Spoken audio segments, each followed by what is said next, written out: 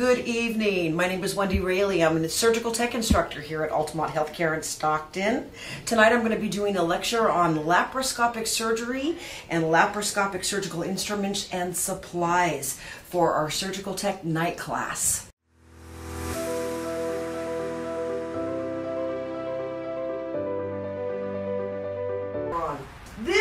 Biggest thing that I want you guys. No test tonight, no assessment on instrumentation tonight. This is going to be strictly for you guys to get familiar with laparoscopic surgery. Laparoscopic surgery is one of those animals, and it's something that I don't want to put that by the computer. It would be just my luck. You're going to do probably at least at least two or three of these a day. And the funny thing about appendicitis is if you have one patient that has an appendicitis, you're going to have two more to follow. They come in threes. It's one of those weird things. If I'm on call and I have an appy at 6, I'm going to have an appy at 11, or I'm going to get called back at 2 a.m. for one, too. I just know it. And every time that that's correct. Every time. But the more I do these, the faster I get at them, which cuts down on my OR time. It cuts down on how long I'm going to be there. Cuts down on how long the patient's there, too. Appendectomies can take you 45 minutes from skin to skin if you are set up correctly for it. So I'm going to do a quick run through of all of these instruments on here so you guys can know exactly what we need. The only knife that I'm ever going to pull out for laparoscopy is going to be the 11 blade. I'm never going to pull a 15 or a 10. I need an 11 because it's got that triangular poke. I'm doing stab wounds on my patient in order to put these ports in there. Okay? The very, very first thing that I want to talk about is the instrumentation that we need to have to do laparoscopy. First thing is going to be your camera okay? The second most important thing is going to be my scope so I can get in there and take a look. On your camera handpiece, you're going to have a little button or two on there. One of those buttons is called a white balance button. This is an NCCT test question as well. When I plug this camera in and get my light cord and hook it up, I have to what kind of what student said this morning, calibrate it. Right? There's a word we all know, calibration. I'm going to want to take a lap or a Raytec sponge, and I'm going to want to hold it at the end of my scope when this is plugged in, and I'm going to want to press a button on my on my camera handpiece that says white balance. I'm going to hold that up to that lap or that Raytec, and I'm going to look at the monitor. In this case, my monitor's here, and it's going to tell me white balance in progress, and then it's going to say white balance is complete. The reason that I need to white balance this camera is when I put this camera that's super lit inside a dark hole, if I don't calibrate the way the light hits it inside there, I'm not going to see anything. It's going to still be dark, okay? I got to be able to see inside there, and it's got to be lit up like a Christmas tree. Another thing I need to worry about is my focus. Just like a focus that we use on a pair of binoculars, right? When you look at it and it's blurry and you just turn it a little bit to get the perfect picture, you're going to want to do the same thing on your camera for your doctor before you start the case. So you're going to want to look at something on your field like an instrument and look at your monitor and turn it to get the best view. Because if it's clear on that monitor, I promise you it's going to be clear inside that port for Doctor 2. Once I have that done, I'm going to tell my nurse to put my camera and scope on standby. If I left this thing on and it was facing down on a drape, the heat intensity of this thing is it's strong. I'm going to burn a hole in that drape. I'm going to burn a hole in my patient. And my patient can't react to it because they're asleep. So I could cause a lot of damage. So putting that scope on standby and kind of tilting it up a little bit, right, rather than leaving it like that, I'm winning. It's not going to hurt anything like that. Okay, so that's your first thing. The second thing that I'm going to need that's super important is this guy, and this is called a Verris needle. V E R R I S, Verris needle. This is my initial poke that's going to go in the belly button to begin my insufflation. Because we can't do anything laparoscopic until we blow up that belly, right? Full of CO2. I need it with air because if I just start jabbing stuff in there, I'm going to jab a bowel, I'm going to jab a, a uterus, I'm going to cause a lot more damage in there than I want to do. So I'm going to start with this guy. I'm going to take two towel clips and I'm going to place it on either side of my patient's belly button and I'm going to clip it those piercing ones. I'm going to lift up on that belly button to create that umbilical channel. Now, the, the, higher I pull up on it, the better chance I have of getting that thing in through the fascia in one swoop. If I don't get it through there again, I got to pull it out, put it in again, lift up. This is a key part of blowing up that belly. It's the safest way to do it. Everybody, when you get a chance, I'm going to pass this around and let you feel it. It's got a little sharp little pokey thing on the end of it because this cuts through my fascia, right, in the, in the belly button area. I'm going to poke that through. And then the next thing I'm going to need is this insufflation tubing. I need this because this hooks up to my CO2, right, over on the wall that allows me to blow up that belly. Two different ends. One end I need to keep on the field with me, and one end I need to throw off to my nurse. Some tubings have the same end. So I have two of these. And you're going to be confused and go, which, which, which one do I keep? Keep the flying saucer end towards your nurse. Always remember, this little filter part that looks like a flying saucer, that goes off the field every single time. Okay? I need to keep enough of this on my field so that I can hook it up once I get this in the belly, just like I want it. I'm going to hook it up. They're going to press a little button on a monitor, and air is going to start filling up in my patient's abdomen. And it's going to start filling like this, and you can watch it fill. Doctor's going to go around and palpate it, It's like you do a good melon, just to see if he can hear that sound in there and make sure that it's full. Once it's full, he's going to pull this thing out, and I'm going to give him either a 10, a 12, or a 15 port. And that port's going to replace this needle in the belly button. And the way they put it in is going to shock everybody, okay? It's a tiny little stab hole with an 11 blade, so you know it's just a poke. But they're going to get up on like this, and they're going to push that thing through the fascia. There's ridges on it, and it's going to go in, and they're going to just do like that. And it's going to look pretty harsh when you see it on the video, right? It's going to look harsh, but I promise you this is the easiest way, perfect, for the patient to recover. As soon as doctor gets that port in, I need to make sure that I hook that insufflation up to this port to maintain that pneumoperitoneum. Okay? And I need to make sure that this lever is matching my tubing. Because if it's off, then I'm not going to get any air back in there and I'm going to slowly lose that insufflated belly. Okay? Keeping that belly fully insufflated is super crucial because it allows me visibility in there. It also allows me room so when I start putting stuff in there that's, you know, this long, I'm not jabbing through things. I have space to jab in there. As soon as doctor gets that port, and the big one always goes in the belly button. I'm going to pull the appendix out through the belly button. I'm going to pull the gallbladder out through the belly button. Sometimes even an ectopic pregnancy through the belly button. Sometimes an ovary through the belly button. So your biggest port's always going to be umbilical. Okay? Always, always. As soon as I get that port in there, I'm going to pull this thing out and I'll put my camera up in there. Now we're in business and now I can see what's going on. This is always going to be your first thing. I'm going to have to add more ports, right? I can't just do my surgery through one because then I'll be pulling that out. To put a grasper in, I'll be switching. So, but I need the biggest port to be here because this is where I'm pulling my specimen out. How am I going to get my specimen out of that thing? Okay? This is just an accessory five port. So let's say I'm taking out an appendix. Let's say, for example, right? Port placement is really important. Appendix, where is it? Right lower quadrant, everybody, right? Right down here. If I put my ports right over that appendix, which we think would make sense, right? But then I got something this long.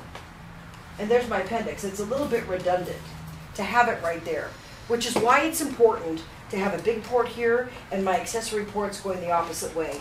Because now when I put that grasper in there, it's going to reach across perfectly to my appendix, okay? It's the same way with the gallbladder. I need to have my ports on the opposite side of my gallbladder because it would be kind of redundant to come this way when my gallbladder's right there. I don't need something that long to get that out, but I do need it if I'm going across. Does that make sense, everybody? So we're going to do that on the opposite side of whatever we're working on. If I was working on pancreas and spleen, then my ports would be on that side. Make sense? Yes. But just remember, your biggest port's going to be in your belly button. That's your biggest one. Accessory ports are going to be on the outside. Accessory ports are good for a couple of things. Anything that's a five is going to fit through a five port. So we need to be thinking about this size with this size. If I'm using a 12 with a 5, well, I got a problem. Not going to fit in that port. But it will for sure fit in my belly button port because it's a 12. So we need to be thinking about the size of our port versus the size of our stapler or any instrumentation that we use, right? Clearly, that's not going to work. But if I picked a 5 stapler, that's going to work just beautifully. Maybe not. Oh yeah, it is. Perfect, right? Staplers. Gotta have these for gallbladders. Sometimes I open them up for appies. Once in a while, right, when you get a bleeder for an appy. Three different sizes. 12, 10, 5. And you can see the dimensional differences, right? The millimeter sizes are different. So if I'm using a 5 port predominantly, then I'm going to probably pick a 5 stapler. But if I'm using a 12 or a 10, then I want a bigger one to fit in there. And I, and I need to have it, right? So stapler is kind of one of those things, disposable, one time use.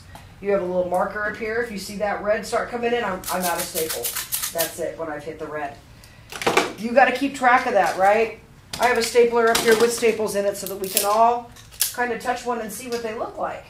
Everybody shoot a staple, see what it's like. These are what we're going to hand the doctor. We're going to hand them to doctor just like that. Lap surgery, there's really hard to be wrong with it, right? just like we pass everything with the handle to our hand, like when we do our scissors and stuff, we're going to do the same thing. We're just going to hand it to them that way. And they're going to grab it and go right in the ports. Ports vary if you're doing a diagnostic laparoscopy, which is just taking a look, then I would say two fives. A five in the belly button and a five down here in the pubic line, just to kind of take a look. Okay, if I'm going to do something major like take out a gallbladder, then I better have a five and, a, and some 12. A 12 in the belly button and at least three fives to get across. Graspers, things like that that I'm going to use in my little accessory ports here, allow me to grab, allows me to staple, allows me to cauterize, Anytime you see something like this with a little post on it, I can plug a Bovie into that, like a Bovie cord, and now this can become hot at the end, and I can use this to cauterize and cut at the same time. Laparoscopic Kittner is kind of like a Q-tip. I could use this to clean inside my ports. I have just made a mess of this table. I can go in there and clean my ports. Sometimes you do it and it's just not a good picture, so I could go in there and clean it right? This is also known as a blunt dissector or a laparoscopic dissector, where we can do a blunt dissection of whatever we're working on, right? Could be a blood dabber, could just be a port cleaner, endoscopic Kittner. Get familiar with this because you'll see these a lot. Kittners. Oh, let's see. Probably the most important instrument that I could teach you guys about is a Maryland dissector. A Maryland dissector. Basically, it's a Kelly on stilts. It is. That's a Kelly. That's a Schnidt. That's a mosquito. It's just long. Okay? It's going to do the same exact thing for me that a Kelly would do in an open case, but it's on a handle. This is disposable, but you will have some of these in your trays at your facility, right? You'll have them disposable or you'll have them look metal. Something like this, right? When you do a laparoscopic case, you're going to have a tray of these different graspers with different tips on it to give your doctors a variety, right? So you're going to have the Maryland in it, the little Kelly. You're going to have a right angle, right? Typically, these are the same instruments that you're going to find in your trays, just on stilts. Just think of it that way, right? It's just with a long handle. All of these will fit inside your ports. Your doctor's just going to ask you for whatever one he wants, right, to get the job done. Scissors, laparoscopic scissors. Typically disposable, super important. For cutting suture, for cutting tissue, for cutting adhesions. Adhesions are scar tissue that kind of looks like spider webs in the belly. People have multiple repeated surgeries, they're going to develop adhesions. It's just one of those things. But I can take this little black cap off and put a Bovie on there, and now I've made hot scissors. So when I go in there, I can just kind of go through, and they look like spider webs. I can just go in there and pull the spider webs down, cut them with these hot scissors, cut right through, and now I can see what I'm going to go work on. So laparoscopy, it looks overwhelming when you look at all this stuff like, whoa. But this is so easy and so much faster and safer for your patient. I'd much rather get called in for a 45 minute case than a four hour, especially in the middle of the night, right? So get familiar with it. Get comfortable with it. It's not quite as intimidating as it seems. It's really not. But in the beginning, it will be until you see it done a few times. Now, what happens if I have a laparoscopic case and it has to go to open suddenly? Laparoscopic to open. In other words, we're not making any progress laparoscopically, or, or the gallbladder is too edematous, or the appendix is too edematous. It's just so much pus in there. We're just going to open. We're going to open and get it in and out. Opening means I'm going to take on a whole new set of instrumentation. and a whole new different kind of abdominal retractor, either a Balfour or a Bookwalter. And I'm gonna get rid of all this stuff. But I gotta get rid of all this stuff before I can get my new stuff. But if it's an emergency situation, I'm gonna have to move double fast. Now I could take the time and hand my nurse all this stuff real quick and she could just be grabbing it, put it on my case cart, or I could take all this shit and put it in my basin on the side and then start taking my laps and get my major set and switch my knife blade from an 11 to a 10 because now we're going to cut open that person and get in there and we have to move quick. So being able to convert from a laparoscopic to an open, it's kind of a fine art, but we need to be able to do it because it happens a lot. Right? I had a doctor at Dameron that we knew he was going to open, but he wanted to start this way. We knew he was going to open, just open. But he's determined, oh, I'm going to try it laparoscopic. Okay, you know, but every time we opened. But we got, I got really good at that conversion because of that guy. You know, as much as I sit here and complain about him, he actually made me better because I got much faster and much more organized in how to get rid of my stuff quickly, get my major set up, do my counts, get my laps, and open. And be quick. And probably the first thing you're going to do is just switch your blade out and have that 10 blade to doctor. While he's cutting open that belly and bovine and suctioning, that's when I'm going to get rid of all the stuff and start getting my open up, right? It's a lot easier of a conversion that way if I entertain them. If their hands are busy, then I can be busy. You know what I mean, right? You feel that way too? Like, here's your knife, doctor. Go ahead, get started, play your game. I'm over here right now. So I got to get rid of all this stuff. And I'm switching from Raytecs to laps. We only use Raytecs when we do laparoscopic surgery. We don't use laps. So now I got to get rid of all my Raytecs because I got an open belly. And if I lose a Raytec and an open belly, mm, not good. So get rid of my Raytecs too and get my laps up there. So being able to do that conversion, they're going to ask you about that on the exam. So you're really going to need to study how to do that. They're going to ask you the steps to it, right? It's okay. You'll get there. You guys aren't going to do this chapter for a couple weeks, but I want you to look at it and see it a little bit. I want you to get familiar with it because it's something that we do all the time. And you're going to look forward to it. You're going to like it so much better. You're going to say, wow, it's so fast. Yeah, it's a lot of cords, it's a lot of little technical things, white balancing and focus and all that crap. But you, once you do it a few times, you'll get it. It's very easy, it's very quick. The patient goes home typically the same day. So okay. that's great. We hope you enjoyed our little video and our discussion tonight on laparoscopic surgery and surgical supplies. If you have any questions or need any more information, please feel free to contact us here at Altamont Healthcare in Stockton, California. Thank you. Thanks for watching. Please subscribe to Altamont Healthcare on YouTube today.